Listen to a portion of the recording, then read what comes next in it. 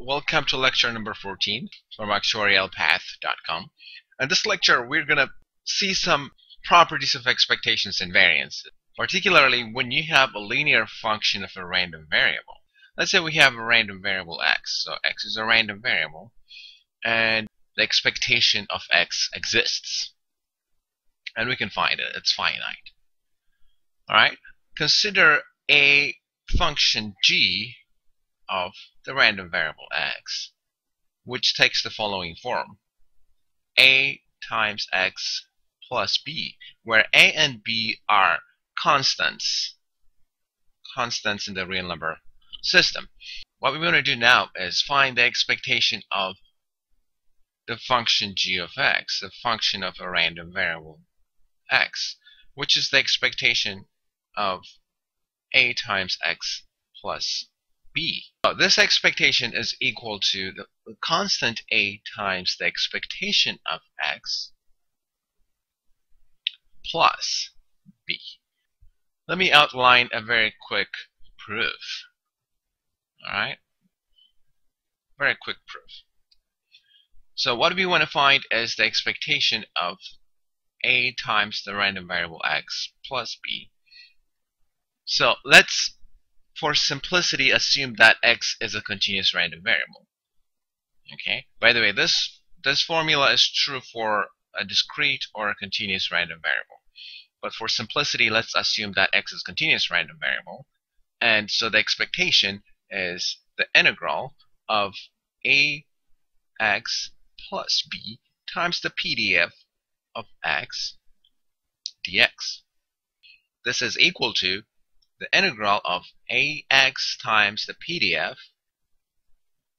plus b times the PDF f of x dx. By the property of integrals, I can write this as a sum of two integrals. So that is the integral of ax f of x dx plus the integral of b times f of x dx. Then what I'm going to do is I can take out the constant a because this is just an integral and you can you can always take out a constant outside of the integral. a times the integral of x times f of x dx plus b times again the integral of f of x dx. Now, if we integrate over all the support of x, this integral here is simply the expectation of x. So this is equal to a times the expectation of x plus b times what is the integral of f of x dx? The integral over all the support of x of f of x dx is 1 by the property of PDFs. This is equal to 1. So b times 1 is simply b. So what we have here is that the expectation of ax plus b is equal to a times the expectation of x plus the constant b. Okay, that's the first thing I wanted to show you. What about the variance of a linear function of a random variable x? Let's consider a random variable x again with a variance with a finite variance. So the variance exists and also take two constants a and b which are in the real number system so this is what I have here the variance of a constant a times the random variable x plus b is equal to a squared times the variance of the random variable x. Again, I'm going to show a quick proof for this.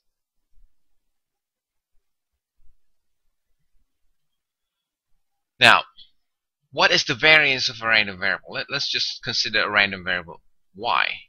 Okay? Then the variance of the random variable y, by definition, is the expectation of y minus the expectation of y squared. Quantity squared. Okay? So that's the definition of variance. Let's say y is equal to ax plus b. Okay, so the variance of ax plus b is equal to the expectation of I have y minus expectation of y squared. So that's ax plus b minus the expectation of ax plus b quantity squared. Okay, so this is equal to the expectation of um, ax plus b minus what we have seen previously is what? The expectation of ax plus b is a times the expectation of x plus b. So this is a times the expectation of x plus b quantity squared. So this is equal to the expectation of ax plus b minus a times the expectation of x minus b square. Minus b cancels out positive b.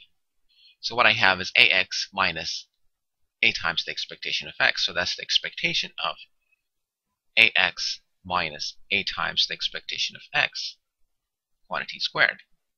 I can take out a as a common multiplier. So this is the expectation of a squared times x minus the expectation of x squared. Alright? If you consider x minus expectation of x squared as a single random variable, then that single random variable is multiplied by a constant a squared. So you can take it outside of the expectation. That is a squared times the expectation of x minus the expectation of x quantity squared.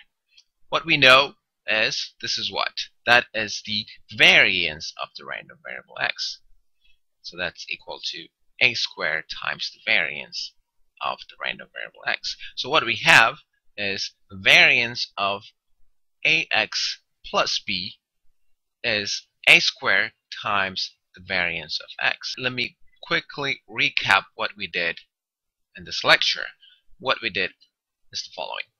We said the expectation of ax plus b is a times the expectation of x plus b, where a and b are constants, x is a random variable. By the way, also the expectation of a times x is a times the expectation of x. Alright, the next thing we did is the variance of a times x plus b is a squared times the variance of x. Also, if you have the variance of a times x, this is again x squared times the variance of x. One more thing, the variance of a constant is 0. So if you have variance of a constant, maybe a or b or c, is 0. Okay, and also expectation of a constant is the constant itself. These will come handy when we do operations of expectations and variances. Alright, let's do one or two examples here. Example. The monthly profit of company 1 can be modeled by a continuous random variable with a density function with a PDF given by the following. So that's the PDF. Company 2 has a monthly profit that is four times that of Company 1. The question is to find the expected value and the variance of the monthly profit of Company 2. Let's say X is monthly profit for Company 1.